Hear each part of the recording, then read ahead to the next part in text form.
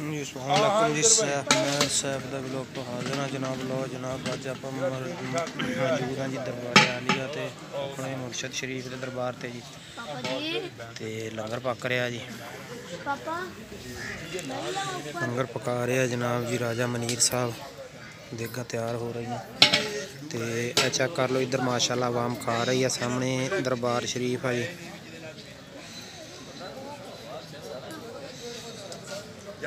ਇਹ ਸਾਰੇ ਦੋਸਤ ਪੀਰ ਭਾਈ ਇਕੱਠੇ ਹੋਏ ਆ ਜਨਾਬ ਦੇਖ ਸਕਦੇ ਆ ਤੁਸੀਂ ਇਹ दूध। ਬਾਕੀ ਆ ਦੇਗਾ ਛੇਗਾ ਕੋ ਲੰਗਰ ਚੱਲ ਗਿਆ ਕੋ ਚੱਲ ਰਿਹਾ ਕੋ ਪੱਕ ਰਿਹਾ ਵਾ ਇਦਾਂ ਹੀ ਇਹ ਨਿਜ਼ਾਮੇ ਕੁਦਰਤ ਆ ਚੱਲ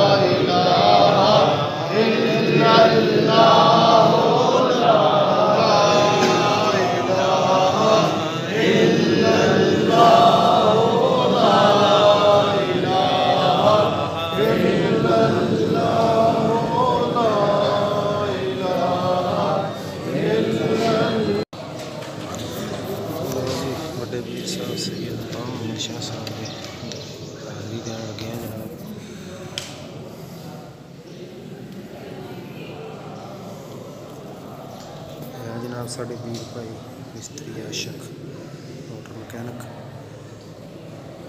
ਮਾਸ਼ਾਅੱਲਾ ਚਸ਼ਮੇ ਬਦੂਰ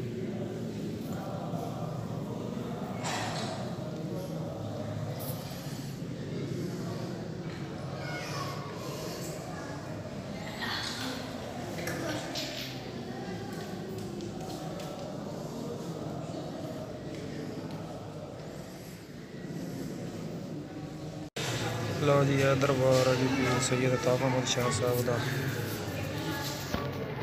ਉਹ ਸਾਹਮਣੇ ਖੜੋਤੇ ਆ ਉਹਨਾਂ ਦੇ।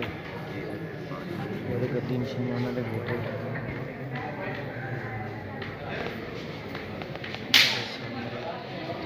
ਅੰਦਰ ਪਸੰਦ ਪਾਇਆ ਆ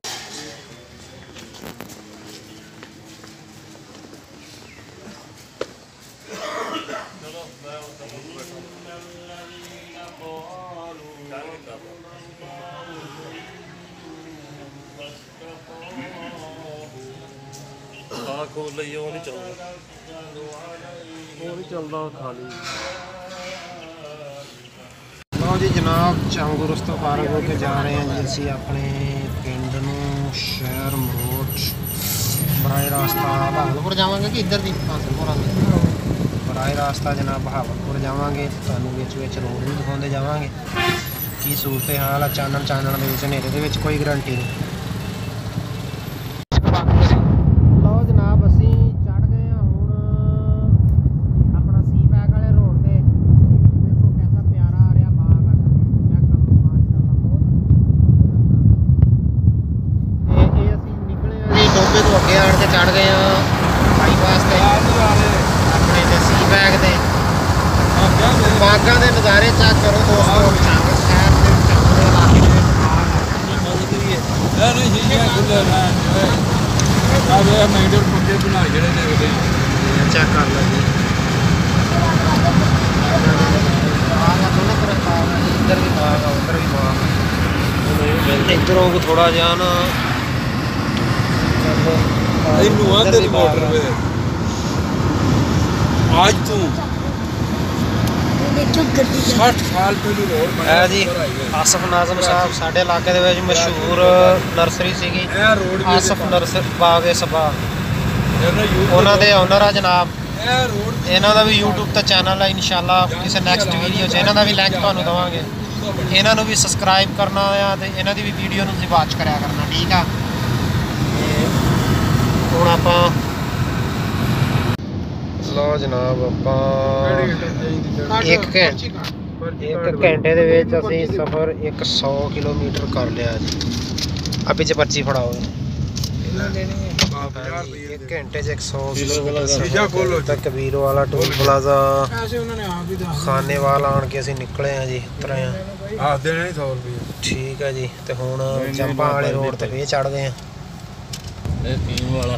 ਉਹ ਦੇਖੀ ਹਾਂਜੀ ਲਓ ਜੀ ਉਤਰਦਿਆਂ ਸਾਰੀ ਸਰਕਾਰ ਜੰਪਾਂ ਜੰਪ ਹੋ ਗਿਆ ਸ਼ੁਰੂ ਤੇ ਇਹ ਦੇਖ ਲਓ ਜੀ। ਖਾਨੇਵਾਲ ਇੰਟਰਚੇਂਜ ਆ ਜੀ ਖਾਨੇਵਾਲ ਇੰਟਰਚੇਂਜ ਤੋਂ ਅਸੀਂ ਥੱਲੇ ਹੋਏ ਆ ਤੇ ਨਾਲ ਹੀ ਜੰਪ ਤੇ ਮਾਸ਼ਾਅੱਲਾ ਅੱਗੇ ਦਰਿਆ ਹੀ ਲੱਗਾ ਪਿਆ ਜੀ। ਅੱਲਾ ਖੈਰ ਹੀ ਕਰੇ। ਤੇ ਇਹ ਹੁਣ ਇੱਥੇ ਉਤਰ ਕੇ ਇਹ ਜੰਪ ਆ ਇੱਧਰ ਨੂੰ ਕਰ ਲਈ ਜਿੱਧਰ ਨੂੰ ਆ ਰਿਹਾ ਮਾਲ। ਚੈੱਕ ਕਰ ਲਓ ਅੱਗੇ ਪਾਣੀ ਦੇਖ ਲਓ। ਕਿੱਡਾ ਸੋਹਣਾ ਸਫ਼ਰ ਕਰਕੇ ਆਏ ਆ ਤੇ ਹੁਣ ਚੰਗਾ ਲੱਗਦਾ ਵਾ ਐਡਾ ਵੀਆਈਪੀ ਸਫ਼ਰ ਤੋਂ ਬਾਅਦ। ਇਸ ਤਰੀਕੇ ਦਾ ਸਫ਼ਰ ਹੋਵੇ ਇਹ ਦੇਖੋ ਪਾਣੀ। ਲਓ ਜਨਾਬ ਰਾਸਤੇ ਜਾਂਦੇ ਪਏ ਸੀ ਤਾਂ ਦੇਖੋ ਐਕਸੀਡੈਂਟ ਹੋਇਆ ਕੋਈ ਚੀਜ਼ ਵੱਜੀ ਆ ਬੜੀ ਬੁਰੇ ਤਰੀਕੇ ਦੇ ਨਾਲ। ਚ ਗਏ ਨੇ ਬੰਦੇ ਕਹਿੰਦੇ ਤੇ ਇਹਦੇ ਵਿੱਚ ਬੰਦੇ ਬਚ ਗਏ ਆ ਬੰਦਿਆਂ ਨੂੰ ਕੁਝ ਵੀ ਨਹੀਂ ਹੋਇਆ। ਤੇ ਲਿਹਾਜ਼ਾ ਦੇਖਦੇ ਆ ਅਗਲਾ ਪ੍ਰੋਸੀਜਰ ਕੀ ਆ ਕਿਹੜੀ ਸ਼ਾਇਦ ਜੇ ਵੱਜੀ ਆ। ਪੁਲਿਸ ਆ ਗਈ ਤੇ ਮਾਸ਼ਾਅੱਲਾ ਪੁਲਿਸ ਵੀ ਆਈ ਗੱਡੀ ਆ ਜੀ ਮੋਟਰਸਾਈਕਲ ਦੇ ਵਿੱਚ ਹੀ ਵੱਜੇ ਆ। ਆ ਚੈੱਕ ਕਰ ਲਓ। ਤੇ ਬਚ ਗਏ ਆ ਬੰਦੇ ਹਲਕੀਆਂ ਫੁਲਕੀਆਂ ਖਰਾਸ਼ਾਂ ਖਰੂਸ਼ਾਂ ਆਈਆਂ ਬਾਕੀ ਬੰਦੇ ਬਚ ਬੁਚ ਗਏ ਆ ਜੀ। ਅੱਲਾ ਮਾਫ ਕਰੇ। ਜਦੋਂ ਵੀ ਚਲਾਓ ਮੋਟਰਸਾਈਕਲ ਬੜੇ ਸਕੂਨ ਨਾਲ ਚਲਾਓ। ਸਫ਼ਰ ਜਦੋਂ ਵੀ ਕਰੋ, ਸਕੂਨ ਨਾਲ ਕਰੋ, ਖਾਸ ਤੌਰ ਤੇ ਇਦਾਂ ਦੇ ਲੋਕਲ ਰੋਡ ਦੇ ਉੱਤੇ ਮੋਟਰਸਾਈਕਲ 40 50 40 50 ਇਹ ਬੜਾ, ਬੜੀ ਸਪੀਡ ਆ। ਤੇ ਬੜੀ ਸਪੀਡ ਆ ਇਹ 40 50 ਬਹੁਤ ਸਪੀਡ ਆ।